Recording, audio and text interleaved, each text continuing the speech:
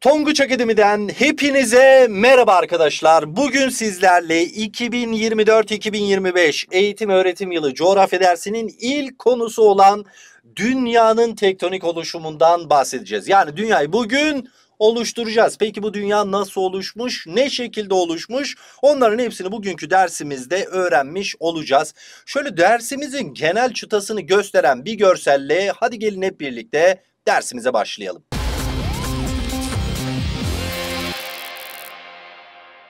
Şimdi burada o görüyorum bir tane dünya var. Uzunca bir pipet var ve eleman ya limonata içer gibi dünyadan bir şeyler içiyor. Peki bu dünyanın iç kısmında ne var ya bu kadar 4.6 milyar yıl yaşında olan bir dünyanın iç kısmında neler var ki bu eleman o pipetle ne içiyor? Şimdi hepsini görmüş olacağız. Peki bugün bizim bu derste hangi konular öğreneceğiz derseniz öncelikle dünyanın tektonik oluşumundan bahsedeceğiz. Yani dünya ne zaman oluştu, nasıl oluştu, ne şekilde oluştu ve bu oluşumla birlikte yerin iç yapısı hakkında güzel bilgilendirmelerimizde yer alacak ve devamında levha tektoniği kuramı diyeceğiz. Bu kavramı ilk defa duyuyor olabilirsiniz ama ne olduğunu da dersimiz içerisinde güzel bir şekilde öğrenmiş olacaksınız. Peki bu dersi işleyeceğiz ve bu işlediğimiz ders kısmında anahtar kavramlarımız mevcut ki ben bunu geçen videomuzda söylerken şöyle belirtmiştim. Yani bu doğal sistemler kısmında oldukça fazla bilmeyeceğiniz kelime grupları yer alacak.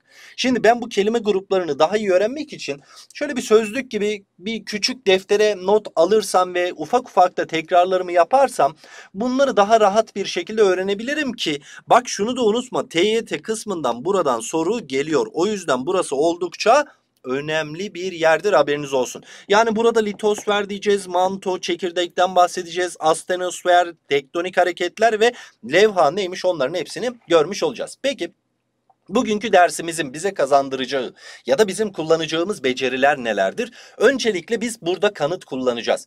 Yani dünya eskiden nasılmış, şimdi nasıl olmuş, bunun kanıtları nelerdir? Onlardan bahsedeceğiz. E 4.6 milyarlık milyar yıllık bir dünyamız var ve bu dünyadaki değişim ve sürekliliği algılamaya çalışacağız ve aynı zamanda zamanı algılamaya çalışacağız diyebiliriz sevgili arkadaşlar. Geldik şimdi başlığımız dünyanın tektonik oluşumu. Dünya ne zaman oluştu dersek dünya günümüzden yaklaşık 4.6 milyar yıl önce oluşuyor. Kızgın gaz ve toz bulutlarının sıkışmasıyla oluşmuş. Peki bu şeklini nasıl kazanmıştır dersek kendi ekseni etrafında dönmesine bağlı olarak bu şekli kazanmış. Yani soğuma ile birlikte kazanıyor. Ve şunu unutmayalım. Yoğunluğu tekrar söylüyorum yoğunluğu fazla olan maddeler dünyanın iç kısmında birikiyor. Yoğunluğu az olan maddeler ise dünyanın dış kısmında birikiyor. Bunu bir şey gibi düşünebilirsiniz. Mesela bir şeftali gibi düşünebilirsiniz. Nasıl? Şeftalinin dış kısmında bir kabuk kısmı var mı? Var. Biz bu kabuk kısmını, şeftalinin kabuk kısmını yer kabuğu olarak bileceğiz. Yani biz buraya litosfer diyeceğiz. Bir de o şeftalinin o yediğimiz o büyük bir kısmı var mı? Var. İşte biz buraya da manto kısmı diyeceğiz. Bir de şeftalinin iç kısmında ne var? Çekirdeği var değil mi? Aynen o şekilde oraya da biz çekirdek diyeceğiz. O zaman şeftali ölçeğinden dünyaya gitmemiz gerekirse bizim dünyamızda aynen şeftali gibi 3 tane katmandan oluşuyor. Ve dikkat ederseniz şeftalideki o katmanların kalınlıkları, yoğunlukları birbirinden farklı. Aynı şekilde dünyadaki bu katmanların da kalınlıkları, yoğunlukları birbirinden farklıdır diyebiliriz. E ne dedik? Yoğunluğu az olan maddeler dış kısımda. O zaman yer kabuğunun yoğunluğu daha az. E, yoğunluğu fazla olan maddeler iç kısımdaysa mantonun yoğunluğu daha fazla, çekirdeğin yoğunluğu en fazladır diyebiliriz. Peki bu dünyanın o iç kısmına kadar gittiğimizde ne kadarlık bir mesafe kat etmemiz gerekiyor derseniz 6370 kilometre. Aslında ben bunu nereden biliyorum? Ben bunu geçen seneden biliyorum. Dünyanın şeklini anlatırken ben dünyanın şekli ve boyutları kısmında ekvator yarıçapı dedim. Ekvator yarıçapı 6378 kilometre. Ahan da bu 6370 kilometre bu kısımdan geliyor. Şu üst kısım en ince olan yer kabuğu. Şu kocaman olan kısım manto. Şurada çekirdektir diyebiliriz sevgili arkadaşlarım. Bunu da unutmayalım. Peki Şimdi burada ilk katmanımız olan litosferle konumuza başlamak istiyorum. Litosfer en üst katmandı. Bak tekrar söylüyorum. Litosfer en üst katman. Üst katman yoğunluk azdır ve yoğunluğun en az olduğu katman litosferdir. Bunu unutmayalım. Aynı zamanda sıcaklığın da en az olduğu katmandır. Bunu da ifade etmek isterim. Tekrar burayı şöyle bir toparlamamız gerekirse litosfer dediğimiz kısım yer kabuğu olarak karşımıza çıkacak. Ve yer kabuğu yerin en ince katmanı.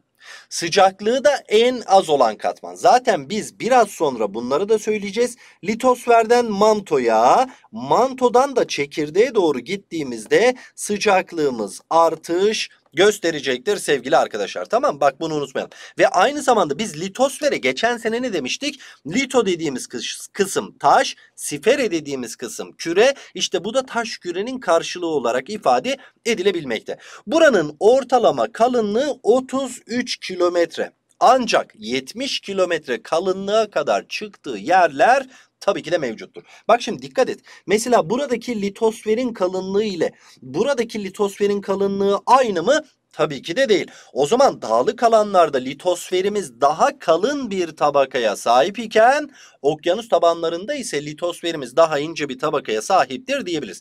Peki bu litosferimiz yani yer kabuğumuz yoğunluk kalınlık anlamında iki farklı katmana ayrılmakta. Bunlardan bir tanesi siyal katmanı, bir tanesi ise sima katmanı. Şimdi bak mantıklı düşün. Bir tanesi bunlardan kıtasal kabuk diye geçecek. Kıtasal kabuk. Kıta dediğimiz alan kara alanı değil mi? Evet. O zaman karanın içerisinde bulunduğuna biz siyal diyeceğiz. Okyanusun tabanında daha kalın olana ise sima diyeceğiz tamam mı? Şimdi şu görsele odaklanmanızı istiyorum. Bunlardan hangisi kıtasal kabuk olur? Aynen o şekilde. Tabii ki de siyal kıtasal kabuk olarak geçecek. O zaman siyal dediğimiz katman karalarda daha kalın değil mi? Simaya baktığımız zaman ise simada ne olacak? Okyanusal kabuk olacak. E sima dediğimiz katman da siyale göre okyanus tabanlarında daha kalın değil mi? Aynen o şekilde. Peki ya bunlara niye siyal Niye sima denmiş sevgili arkadaşlar? Bir de onlardan bahsedeyim. Bak şimdi şuraya şöyle sial diye yazdım. Şuraya da şöyle geldim. Si ma diye yazdım. Silisyum neyin simgesi? Siyal neyin, si neyin simgesi? Hepsinin cevabını vermiş olduk. Şuraya şöyle geldim silisyum diye yazıyorum. Peki Al neyin simgesi? E bu da alüminyumun simgesi. O zaman siyalin içerisinde bol miktarda ne varmış? Silisyum ve alüminyum varmış. Bundan dolayı zaten biz bu katmana sial katmanı diyoruz. E peki si neyin simgesiydi? E silisyumun simgesiydi öğretmenim. Tamam çok güzel. Ma neyin simgesi? Magnezyum silisyumun simgesi. E o zaman simada da silisyum ve magnezyum daha fazlaymış diyebiliriz. Aynı zamanda siyale biz granitik kabuk, simaya ise biz bazaltik kabuk diyeceğiz. Bunu da unutmamış olalım sevgili arkadaşlar. Peki. Biraz önce güzel bir şekilde şimdi toparlayacağız ve aynı zamanda harita üzerinde de çok güzel bir şekilde göreceğiz. Siyal katmanı hemen alttaki görselime baktım. Karada siyal katmanı daha mı kalın? O zaman şuraya şöyle diyorum ki siyal katmanı karalarda daha kalın bir tabakaya sahip. Sima katmanı ise okyanuslarda daha kalın bir tabakaya sahiptir diyebiliriz. Bak şimdi burada çok güzel sorular gelebilir. Biraz önce mesela litosferin ortalama kalınlığına 33 kilometre dedik. Ama bu litosferin ortalama kalınlığı bazı yerlerde 70 kilometreye kadar çıkmakta. E o zaman litosfer nerede daha kalındı? Kara alanlarında. He, o zaman o 70 kilometrelik kalınlıklar da karalarda olacak mı? Olacak. Buradan mesela soru şöyle gelir. Bana harita üzerinde bazı işaretli yerler gösterir. Mesela nasıl? Tam şu kısmı gösterir. Bak tam şu alanı gösterir. Aynı şekilde tam şu alanı şöyle kıyı kısmını gösterir. Mesela burasını gösterir tamam Ya da şuradaki alanı gösterir. Ve bu kırmızı ile işaretlemiş olduğum alanlar haritada da gördüğünüz üzere kahverengiyle gösterilmiş. Buralarda ortalama yükselti oldukça fazla ve buralar dünyadaki dağlık alanlar. Mesela şurayı tanıştırayım. Burası Himalaya dağları tamam mı çocuklar? E burası Alp dağları Avrupa'daki Alp dağları. E burası Kayalık dağları. E hemen güney kısmına geldim. Burada da Ant Dağları yer almakta. E şimdi dağlık alanlarda o zaman siyal daha kalın bir tabakaya sahip olacaktır diyebiliriz sevgili dostlar. Ama bana mesela okyanus tabanını verdi. Yani tam şu alanı şöyle karaladı verdi. Ya da tam bu alanı karaladı verdi. Ya da geldi şu alanı şöylece karaladı, karaladı verdi. Buralarda da siyal daha ince bir tabakaya sahiptir. Bunu unutmamış olalım sevgili dostlar. Peki ben bunu nasıl göreceğim derseniz bakın şimdi. Google Earth'ü açtık. Yani siyalin o kalınlık kısmını çok güzel bir şekilde görebileceğimiz kısma bakmamız gerekiyor sevgili arkadaşlar. Şimdi ben buradan şöyle geliyorum haritama. Haritama geldim. Bak şimdi. Biraz önce ne dedik biz? Biraz önce dedik ki siyal katmanı karalarda daha kalın bir tabakaya sahip. Ve tam şu göstermiş olduğumuz alan. Bakın tam burası. Hemen şöyle görünüm kısmından da katmanlar kısmından da temizi alalım. Burayı çok daha güzel bir şekilde gösterebiliriz. Bak şimdi şöyle alıyorum burayı. Şöyle indirdim. Bak birazdan buraya böylece yaklaşacağız. Şimdi burayı biraz daha şöyle yaklaşırsak. Bak şimdi burada bir dağlık alan var. Ve biz bu dağlık alanın tam şu kısmının bulunduğu yere Himalaya dağları diyeceğiz. Ya burası kara alanı olduğu için yani bu kıtasal kabuktur tamam mı? Ve biz buraya ne diyoruz? Biz buraya Sial diyoruz. O zaman Sial burada daha kalın bir tabakaya sahip olmak zorunda. Ama mesela şöyle aşağıya geldiğim zaman burası da Hint okyanusu. Tamam mı? E burada ister istemez siyal ne olacaktır? Daha ince bir tabakaya sahip olacaktır diyebiliriz. Şuradan da şöyle şuradaki dağlık kısımları da net bir şekilde görebiliriz sevgili dostlar. Tamam mı? Birazdan bu haritaya tekrar dönmüş olacağız. Şimdi geldik devamında manto katmanı. Manto ikinci katmanımızdı. Ve manto için şunu unutmayalım. Ya yediğin şeftaliyi düşündüğünde kabuğu çok ince ama o yediğin kısım bayağı yoğun, bayağı kalın bir alana sahip değil mi? Hacim olarak unutma manto dünyanın en kalın kısmı. Yani yer kabuğunun hacminin %84'lük kısmını manto oluşturmakta. Ve mantoda bilmemiz gereken önemli yerlerden bir tanesi de ahanda burasıdır. Bura neresidir dediğimizde burası bakın zaten dikkat edin şu üst kısım neydi? Litosferdi. Buraya böyle litosfer diye yazdım. E bu alt kısım neydi? Alt kısımda mantoydu. İşte bizim bu mantoyla litosfer arasındaki şu tabakaya verdiğimiz isim astenosfer olarak geçiyor. Bu astenosfer mantonun üst kısmıdır. Tamam mı? Manto katmanının üst kısmıdır. Litosferle arada bir katman oluşturmaktadır diyebiliriz. Bak şimdi manto 33 kilometreden başladı. 2900 kilometreye kadar gitti. Şuna dikkat et. Ben manto için yerin en kalın katmanı demedim. Yer hacminin en fazla olduğu katman dedim. Hacim kapladığı alan bakımından en geniş alan neresidir derse mantodur. Matematiksel anlamda gelin hesaplayalım. Ya bizim bu yer kabuğumuz 0.33 ise 33 kilometreye sahip değil mi? Tamam. 33 kilometreden 2900 kilometreye gitti. E 2900 kilometre 33 kilometre ne kaldı? 2867. E bizim bu mantomuz kaç kilometre oldu? 2867 kilometre kalınlığa sahip oldu. Bizim en alt kısmımız 6378 kilometre değil mi? E bu da 2900 kilometreden başlamıyor mu? E gelin hep birlikte çıkaralım. 8, 7, 13'ten 9 çıktı 4, 5'ten 2 çıktı 3. O zaman benim bu çekirdek katmanım 3478 kilometreye sahip değil mi? O zaman soruyorum. Yerin en kalın katmanı hangisi? Yerin en kalın katmanı tabii ki de sizin söylemiş olduğunuz gibi 3478 kilometre ile çekirdek katmanıdır. Peki gene soruyorum. Yer hacminin bak hacim dedim.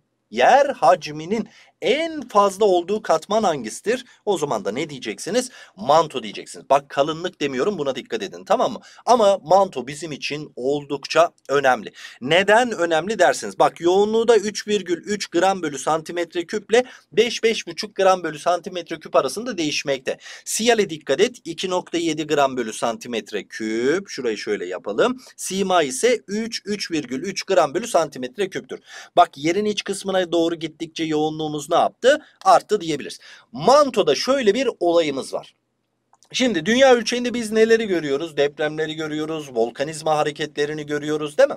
Şimdi bu hareketlerin hepsi iç kuvvetler olarak ifade ediliyor. Tamam mı? Peki bu iç kuvvetler kaynağını nereden alıyor dersek işte bu mantodan alıyor.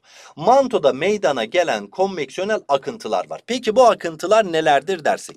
Bak şimdi bu mantonun iç kısmında ne var dediğimizde yani içinde magmamız var. Ve burada ısınan bir magma var. Şimdi ısınan bir magma ya da ısınan bir hava diyelim tamam mı? Her türlü prensipte yükselecektir genleşir, hafifler yükselir. Şimdi bizim bu mantonun içerisindeki magmamız yükseldiğinde kime çarpıyor?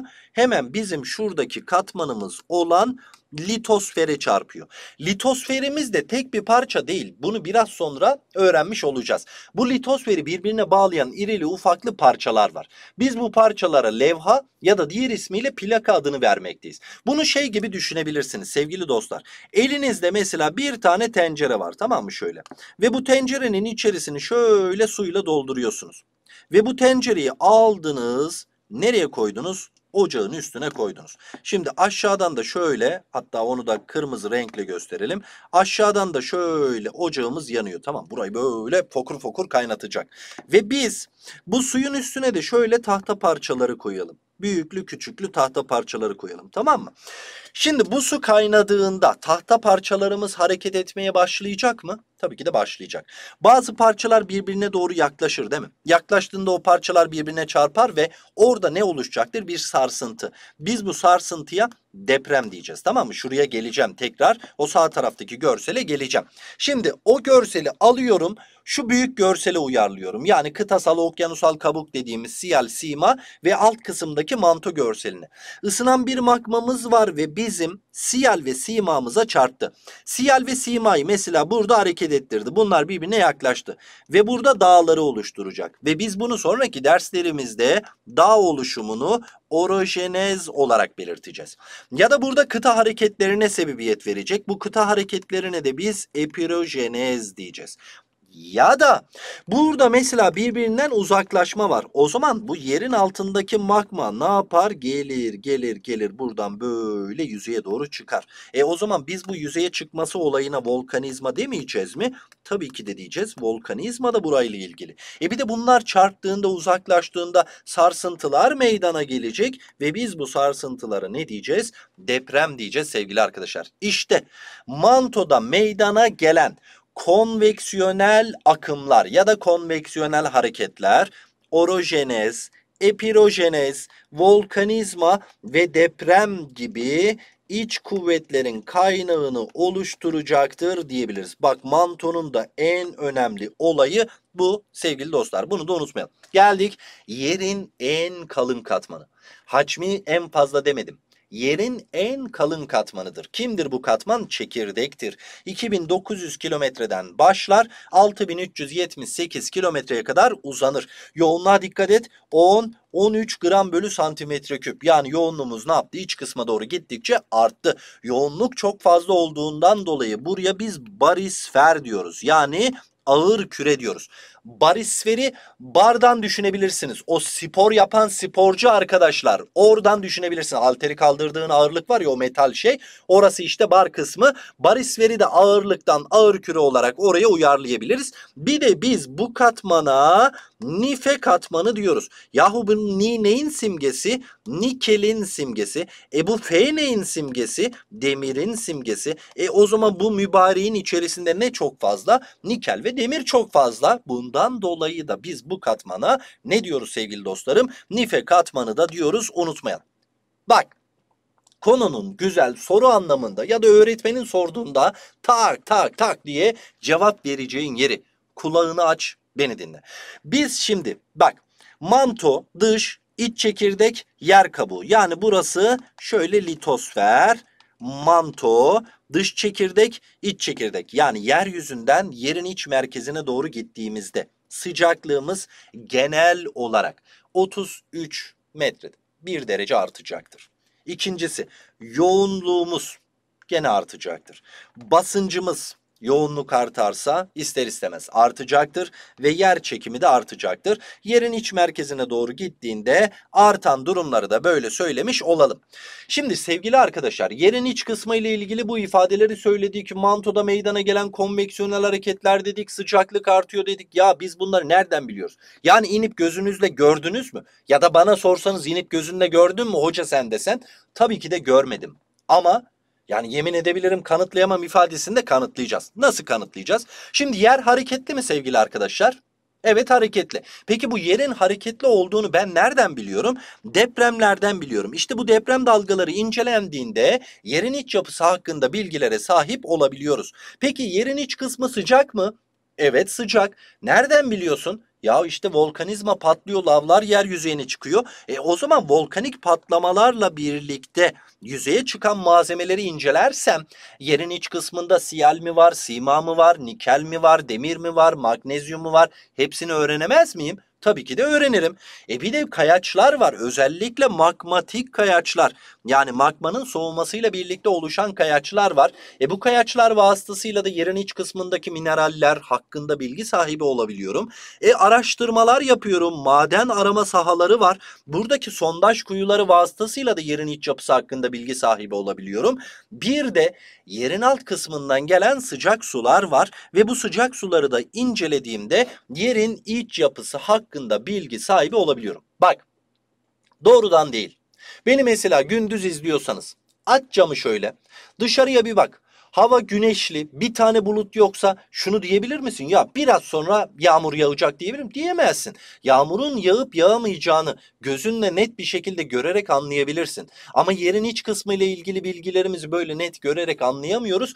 Dolaylı yollardan. Bak şununla birlikte bunu öğreniyorum. Bak bununla birlikte bunu öğreniyorum diyebiliriz. Bunu da unutmamış olalım. Peki bu dünyanın 4.6 milyar yıl önce oluştu ya. Başından geçen bazı durumlar ve var ve bu durumları açık açıklayan birinci bilim insanımız Alfred Wegener sevgili dostlar. 1900'lü yılların başında Alfred Wegener önemli bir kuram ortaya atıyor. Kıtaların kayması kuramı diyor. Peki bu Alfred Wegener bu kıtaların kayması kuramını nasıl ortaya atmış? Alfred Wegener diyor ki sevgili arkadaşlar kıtalar diyor eskiden tek bir parçaydı diyor. Ve biz bu tek parçaya süper kıta olan Pangea, bunu çevreleyen süper bir okyanusumuz var. Bu okyanusa Pantalassa ismini veriyordu. Sonra diyor kıtalar birbirinden ayrılmaya başladı. İki parçaya ayrıldı. Araya Tetis denizi sokuldu diyor. Bak kuzeyde Laurasya, Asya kıtasından aklınıza gelsin. Güneyde de Gondwana. Bak Allah'ını seven şu Gondwana kıtasına bir baksın. Bak Gondwana kıtasına şöyle ben buraya şöyle göstereyim. Şimdi belli bir yerden sonra bu Gondwana da parçalanmaya başlıyor ve dikkat et Güney Amerika ve Afrika kıtalarını oluşturdu mu? Oluşturdu. Bak bak mübarek Hindistan te aşağıdan nereye doğru gidiyor? Yukarıya doğru Asya'nın o güney kısmına doğru gidiyor ve kıtalar şu anki görünümünü almıştır diyor Alfred Wegener. Ama Alfred Wegener bunları söylerken bu kıtaların nasıl hareket ettiğiyle ilgili bilgileri tam anlamıyla aktaramıyor. Yani diyor ki bu adam eskiden diyor evet dünya tek bir kara kütlesiydi. Yemin edebilirim. Evet ama bunu net bir şekilde kanıtlayamam size diyorlar. Daha sonra Alfred Wegener'in bu teorisi 1950'li yıllarda geliştiriliyor ve levha tektoniği teorisi diye bir kuram ortaya atılıyor. Bak şimdi kıtaların kaymasını Alfred Wegener ortaya attı. Daha sonra bilim insanları levha tektoniği teorisi diye bir teori ortaya atıyor. Yani Alfred Wegener'in o açıklayamadığı olayı aslında bu mübarekler açıklamış oluyor. Nasıl? Biraz önce çocuklar mantoyu anlatırken ne dedik biz? Mantoda meydana gelen konveksiyonel hareketler var değil mi? Isınan magma ne yapıyor? Yükseliyor ve bizim litosferimize çarpıyor. Bu levha dediğimiz şeyler zaten litosfer parçalarıdır.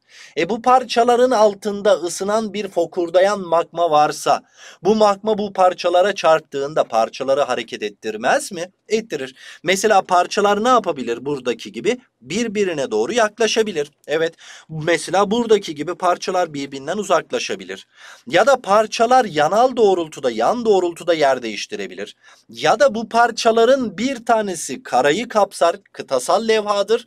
Bir tanesi mesela şuradaki gibi okyanusu kapsar biz buna da okyanusal levha deriz tamam mı çocuklar? Şimdi işte bu Alfred Wegener bu teoriyi ortaya attı evet ama bu teoriyi daha sonraki süreçte levha tektoniği kuramı diye ortaya attılar ve kanıtladılar ya. Bununla ilgili görüşleri, olayları şöyle yaptılar.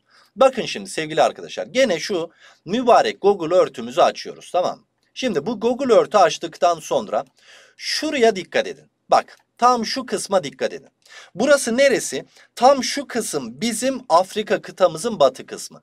Şurası da Güney Amerika'nın doğu kısmı. Bak şu parçaya dikkat et şurasına. Bir de şuraya dikkat et. Bu adamlar diyor ki bu adamlar kıta kenarları oldukça uyumlu diyor. Özellikle kıta kenarlarında nereyi ortaya atıyor dersek burası. Atlas Okyanusu'nun kenarındaki kıyıları. Bu kıyıdaki ve bu kıyıdaki kayaçları inceliyorlar.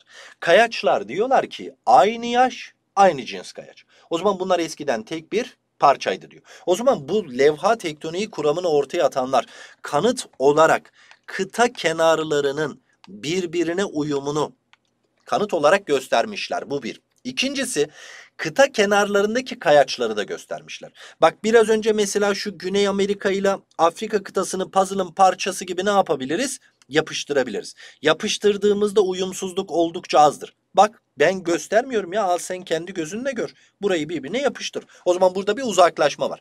Bir de geçmiş dönemdeki bitki ve hayvan fosilleri incelenmiş.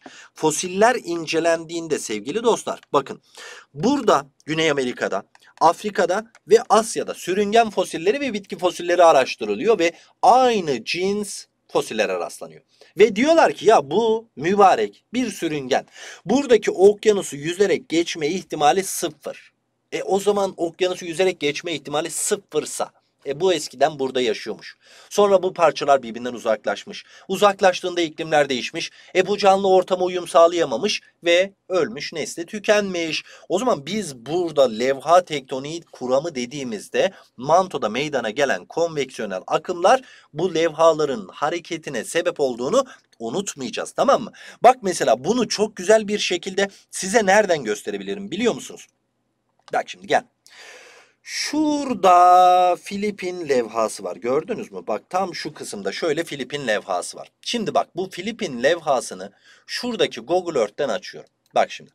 Geldim. Bak şuradaki şurayı gördün mü? Bak böyle bir şey yok ya. Bak Şuradaki parçayı gördün mü? Ah sana levha. Levhayı görüyor musun? Bak Google Earth'te net bir şekilde bunu görebiliyoruz. Mesela bunun devamında neyi görebiliriz başka derseniz sevgili dostlar.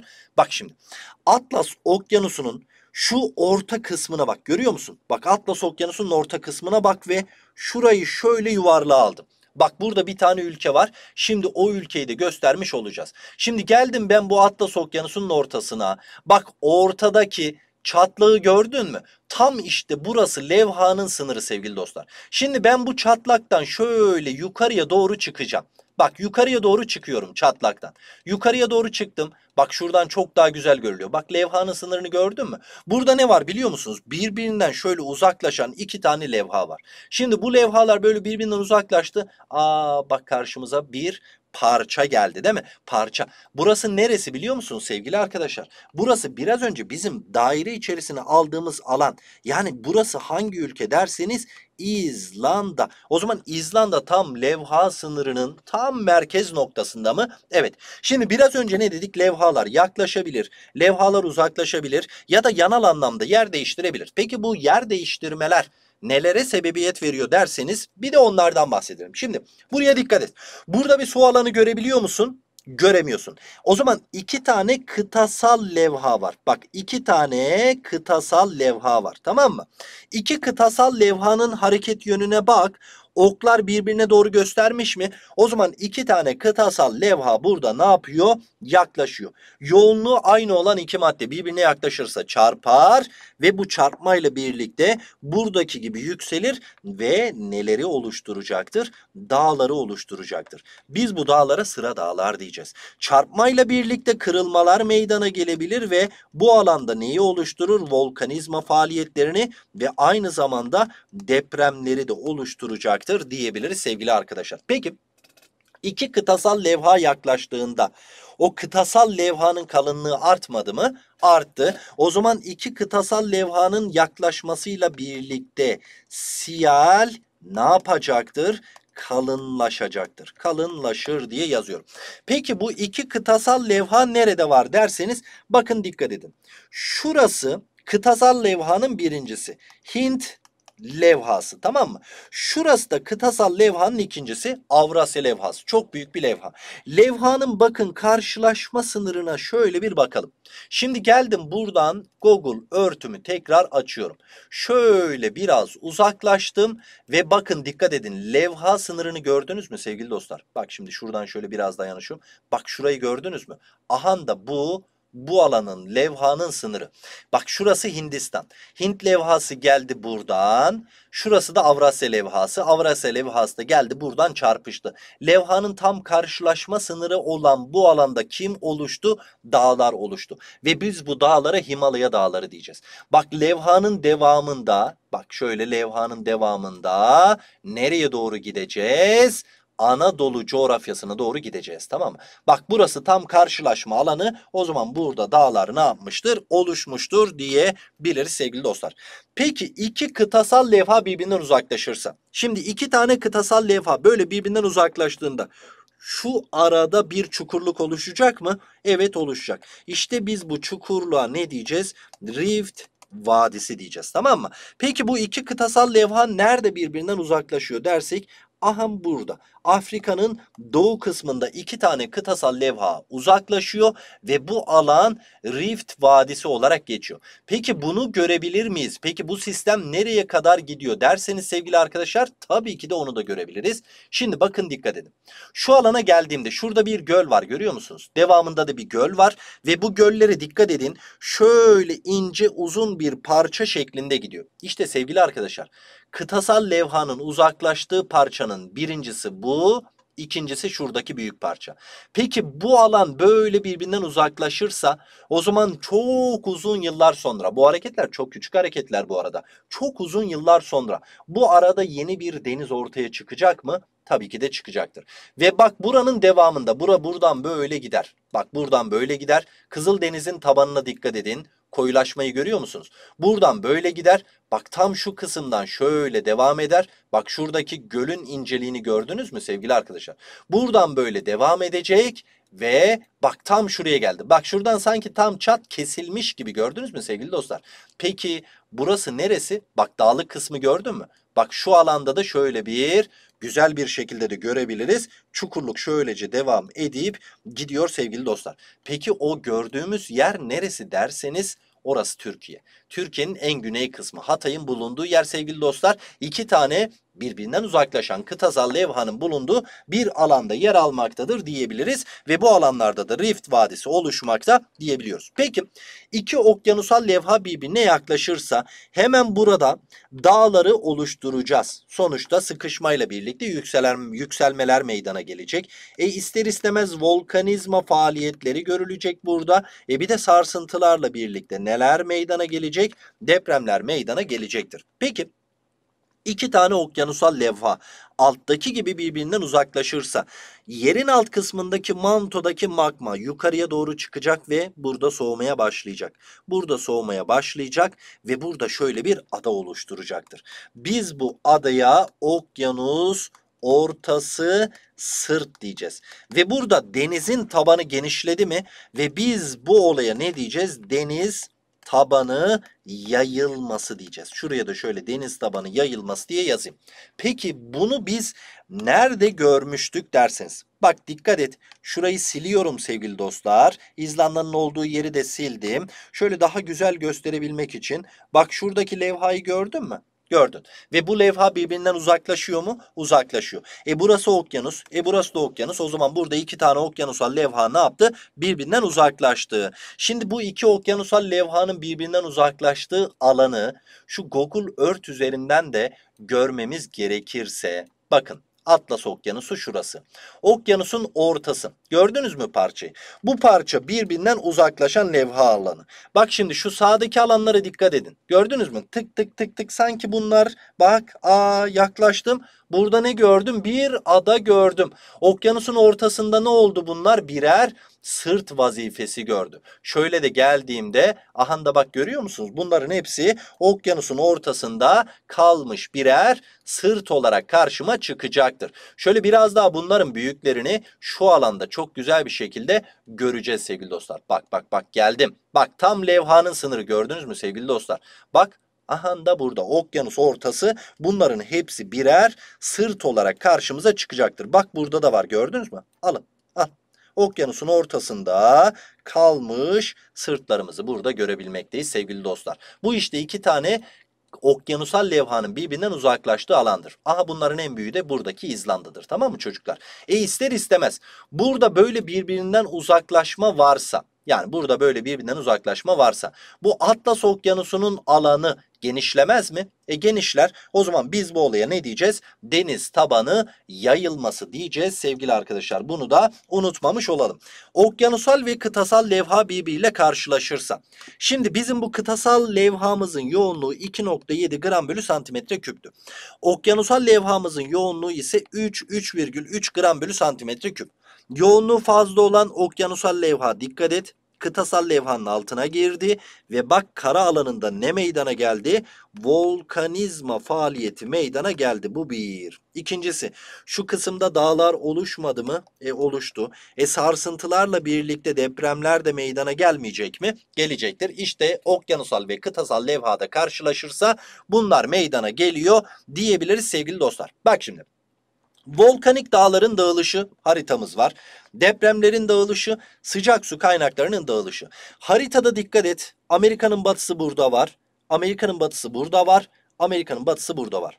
Atlas Okyanusu'nun ortası burada var. Atlas Okyanusu'nun ortası burada var. Atlas Okyanusu'nun ortası burada var. E peki bu alanların ortak noktası nedir derseniz aha da bu.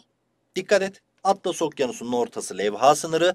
Amerika'nın batı kısmı gene levha sınırı. O zaman şunu unutmayalım. Levha sınırlarında volkanik alanlar yaygın bir şekilde görülür. Depremler yaygın bir şekilde görülür. Sıcak su kaynakları da gene yaygın bir şekilde görülecektir diyebiliriz. Geldik sizinle bugünkü dersimizin sonuna. Bugün sizlerle birlikte yerin iç yapısı yani litosfer, manto ve çekirdek kısmından bahsettik. Levha tektoniği dedik. Alfred Wegener dedik. Yaklaşan levhalar, uzaklaşan levhalar dedik. Onları da bitirmiş olduk. Ve karşınızda günün ödüllü sorusu. Cevapları mutlaka yorumlar kısmına bekliyorum. Bir sonraki dersimizde görüşmek üzere. Kendinize iyi bakın. Hoşçakalın.